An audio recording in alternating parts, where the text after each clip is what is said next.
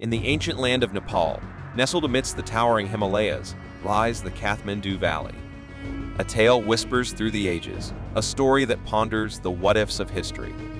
What if Manjushree, the legendary sage, hadn't cut the valley of Kathmandu? What if, instead, it remained a vast expanse of water? Let us embark on a journey of imagination, exploring the possibilities that could have unfolded.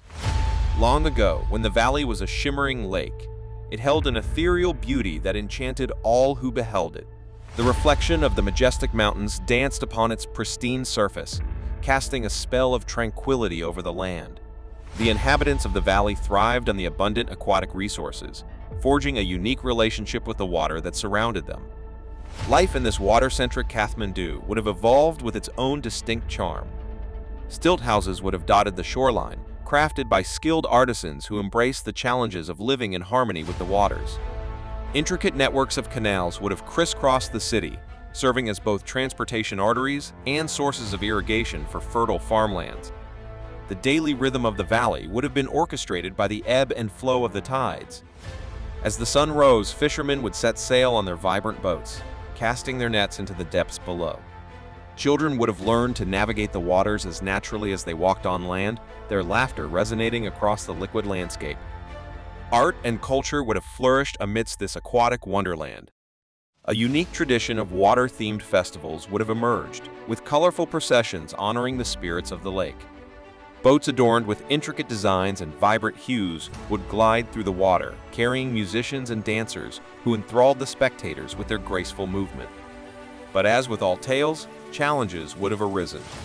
The delicate balance between the land and the water would have demanded constant vigilance. Monsoons, with their torrential downpours, could have threatened to engulf the valley, testing the resilience of its inhabitants. Engineering marvels would have been devised to protect the city, such as intricate systems of embankments and drainage channels. The relationship between humans and water would have shaped their worldview, Mythologies would have woven tales of gods and goddesses emerging from the depths, reminding the people of their intimate connection with this life-giving force.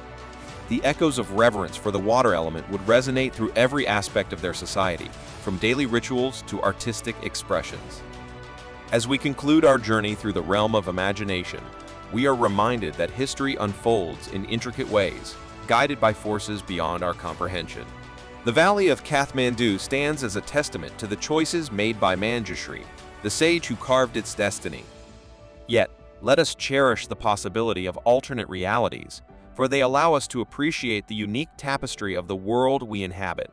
While the story I've crafted is based on imagination and creative storytelling, it seeks to bring to life the potential marvels and challenges that could have emerged if Kathmandu had been a watery paradise. The details and events presented are fictional, but they are inspired by the rich cultural heritage and the resilience of the Nepalese people, who have thrived in their own extraordinary way throughout history.